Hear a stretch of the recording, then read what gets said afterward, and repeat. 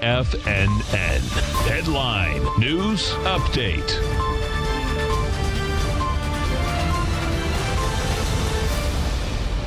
Good morning, everybody. I'm Tommy O'Brien coming to you live from TFNN, 9 a.m. Eastern Time, Monday morning. 30 minutes to go until the opening bell. We got markets in negative territory to kick things off. S&P's negative by 21 points, trading at 2,800 on the dot. We're almost 30 points off where we were at the lows last night at about 9 p.m. Eastern Time.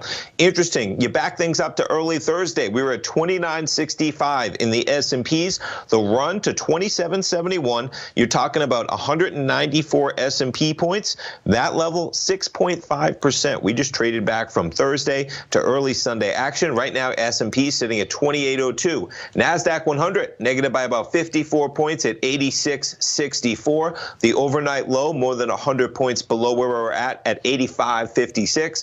Dow futures 23,388, almost 200 points off the lows last night of 23,208. You back it up to the early Thursday high in the Dow, 24,792 you're talking about almost 1,600 Dow points we lost from that level to the lows we had overnight.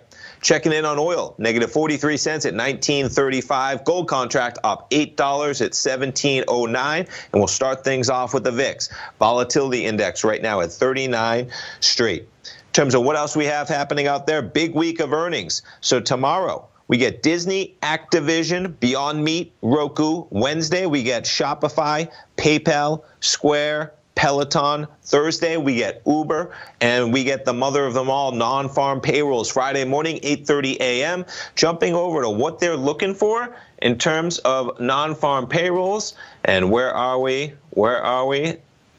We are there we are. Economists surveyed by Bloomberg expect the U.S. to have lost 21.3 million jobs in April, down significantly from 701,000 job losses in March. The unemployment rate is estimated to have surged to 16% from 4.4% the prior month the market's going to be waiting for that news. We'll see what happens Friday at 8:30 a.m. And other news over the weekend, you had Buffett saying Berkshire sold its airline stocks because of the coronavirus, dumping their entire stake worth north of four billion dollars, included positions in United, American, Southwest, and Delta. And as you'd expect, all of those airlines down this morning on that news to 23.88. United, Delta shares down to 21.65. United, I just covered. Love shares trading at 26.92 and American Airline down to 940.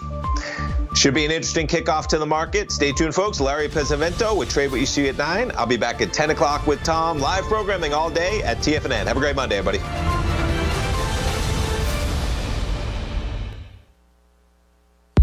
If you haven't checked out the newsletters page of